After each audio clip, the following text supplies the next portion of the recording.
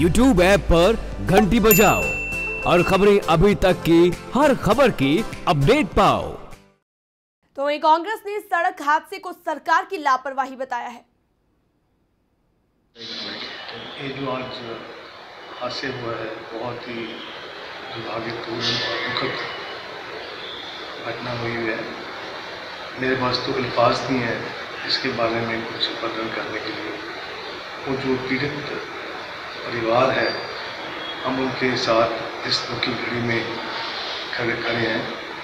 और मैं सरकार से आग्रह करूँगा कि जो हर संभव जो मदद की हो सकती है, हर ढंग से आर्थिक तौर पे और मेडिकल तौर पे करें।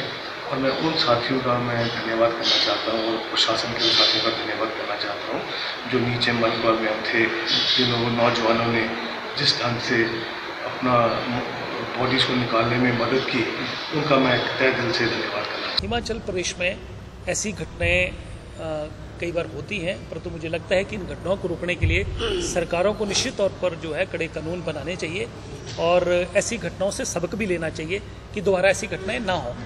पहाड़ी राज्य होने के नाते घटनाएँ घट जाती हैं, परंतु सरकारों को चाहिए कि जहाँ कहीं भी कोई घटना घटती है उससे शिक्षा लेनी चाहिए और भविष्य में ऐसी घटना ना घटे, उसके लिए सरकार को कड़े कदम उठाने चाहिए।